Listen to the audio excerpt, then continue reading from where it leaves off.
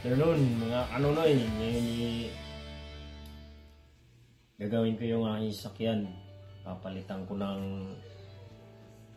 headlight lamp kasi pundi na yata yun. Hindi gumagana yun isa. Ngayon, yung sakyan ko nandun sa baba. Pababa na lang ako dun. Pakita ko kung paano tanggalin yun. Mga kanonoy. Bababa na ako kasi na-warm up ko na rin yung sakyan. So, tsaka naka-t-shirt lang ako. Kasi hindi naman ganong malamig sa labas. Pero di pa rin ako sure kasi hindi pa ako malabas eh. Subukan ko. Nagdadala pa rin ako ng jacket. Panigurado. Mahirap na. Let's go! Okay guys, so nandito na ako sa parking lot. So, ayan. Bulag yung isa. So, ayan. So, yung ito ang papalitan ko. Bali, nakigamit na ako ng parking slot kasi isa lang ang parkingan dito. Ito yung talagang parkingan namin. Yan yung sasakyan ng asawa ko. Ako ay sa ano lang nagpa-park sa labas. So, ngayon, papakita ko sa iyo kung paano palitan ng headlamp ito. Ayan. Medyo maganda naman ang panahon sa labas kasi magsa-summer na dito. So, buksan muna natin yung hood.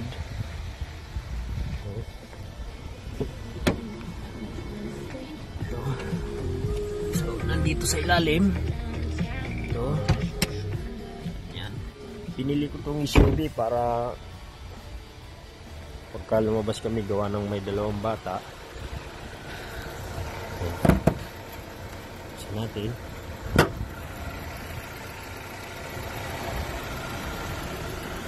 And then, so kailangan pala nating pihitin yung kanyang manubila pakanan. Pakanan. Ayan. Pihit ko yung manubila pakanan. Titingnan ko na doon sa ilalim. Kasi ang alam ko para mapalitan yung bulb na yan ito sa ilalim na yan nakikita nyo yung ano na yan diyan kailangan pihitin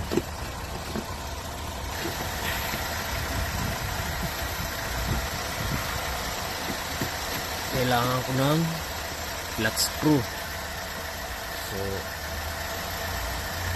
flat screw so ating gamit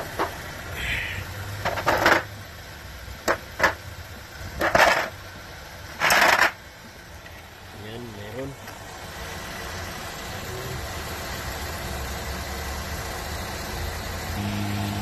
Ayan na guys.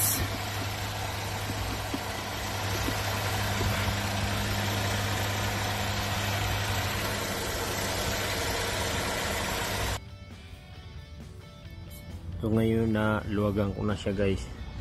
Yung kanyang ano tornilyo. Ito yung parang pinakalak niya. Tapos ngayon ito, pipihitin naman natin pa counterclockwise. Ayan, may mga slot siya. Parang cover lang naman kasi siya. Tapos, ayan. Ayan yung ano ng bulb. May cover yan, pero tinanggal ko na.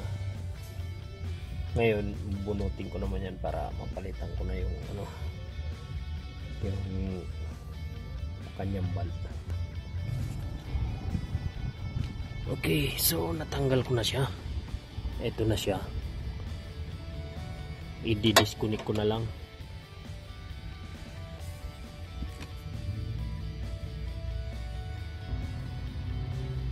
So ngayon na ito tanggal ko na. Ito ang kailangan kong bilhin. Kung makikita nyo yun dyan, putol na yan. Ngayon pupunta ako sa Canadian Tire para bumili ng ganito. Okay, iligpit ko muna ito. Ang gamit ko. Okay, so ngayon guys, eh, pupunta na ako ng ano ngayon, ng Canadian Tire para ibili ko ito. Ngayon, di muna ako makaka-video kasi bawal ang ano dito. Ang nagda-drive na mag-cellphone. Okay, pakita ko na lang sa iyo sa Canadian Tire. Okay, nandito na ako sa Canadian Tire. Ang problema, napakahaba ng pila. Kasi nga eh, quarantine ngayon. So, dito, kailangan pa isa-isa bago pumasok. So, siguro eh, hanap ako sa part source. Pa kaunti lang ang tao dun. Okay, so ngayon nakabalik na ako, nakabili na ako nung ano, dalawa. Napag-decidean ko na dalawa na lang, palitan ko ng halogen para mas maganda. Kasi lagi kami nagpipishing paggabi, babiyahe. So, pati ito, papalitan ko na. Okay, so palitan ko na. Okay guys, so nandito na tayo ngayon. Piliin ko lang yung kagaya nitong tatak may 12 volts 55 watts it's in 11 so maghanap tayo. Tapos pala yung terminal dapat ayan pareho sila. So mga tatak dito ay silban niya. So nasa Walmart lang naman ako pero itatry ko ito kasi ang hirap ng ano ang haba ng pila sa Canadian Tire. So meron dito ito halogen. Wala sana to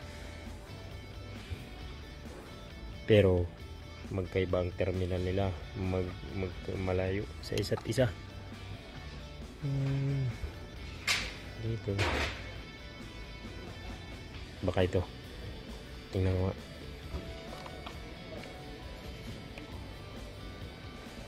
Okay siya nga pareho yung ano tatak niya. 12 volts 55 watts made in USA yung original kasi nito made in Germany.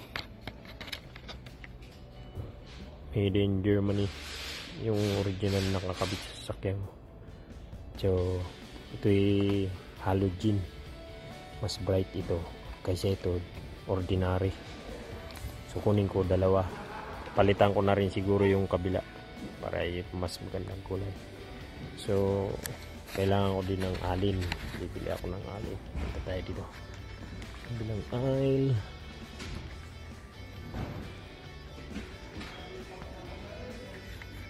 yan ito pwede na siguro to.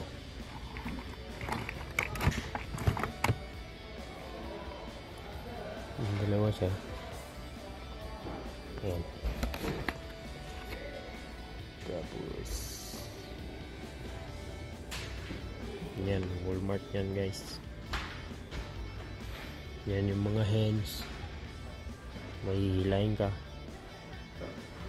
okay let's go. Balik na tayo. Punta na tayo ng counter. Okay so ito yung sa kabila naman. Tanggalin ko tong cover. Tapos yan. Ay ang itim na yan cover pa yan. Yan. So kailangan natin tanggalin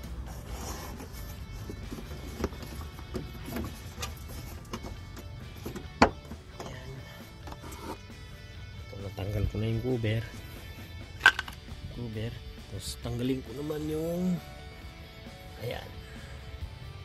Yan naman ang kailangan tanggalin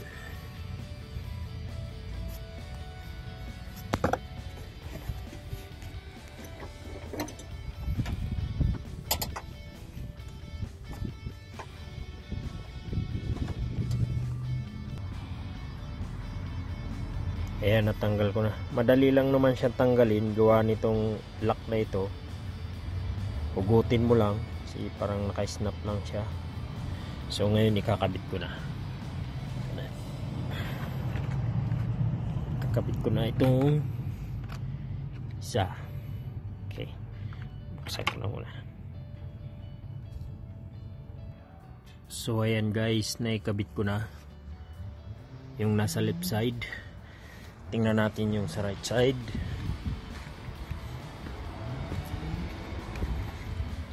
Ayan yung sa right side. Ngayon titistingan ko kung umiilaw siya. I-switch on ko lang. Yun siya guys. Umiilaw. Maliwanag siya. So tingnan natin yung kabila.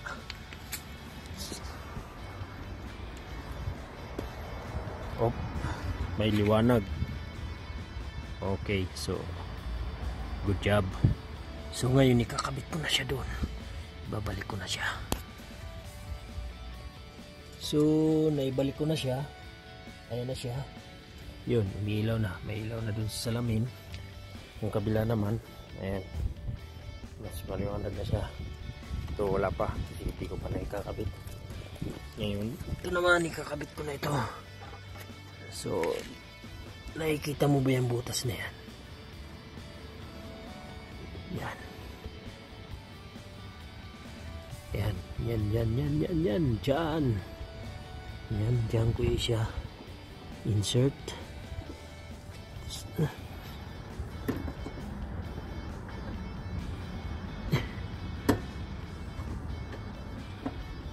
Hindi tama. Hindi tama.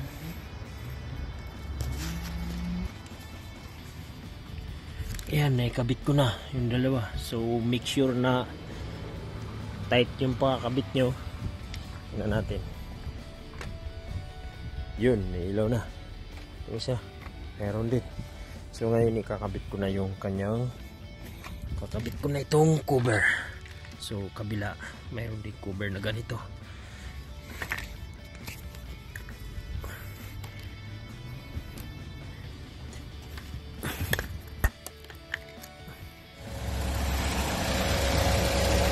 Okay guys, so ngayon naikabit ko na yung cover. Hindi masyado. Yung cover na yan, kabilaan. Tapos ngayon sunod, ito naman na i-cover ko. Kabilaan niya na ikabit ko na. Kabit ko muna ito.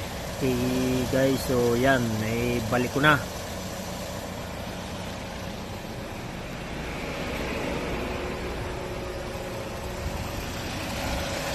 Tsaka ito, naibalik ko na rin pati bolt, tatakpan ko na. Ngayon eh, ayan, magana na siya pareho. Ganun lang po, kaysa magbayad pa. Sa iba, kaya namang gawin. Okay.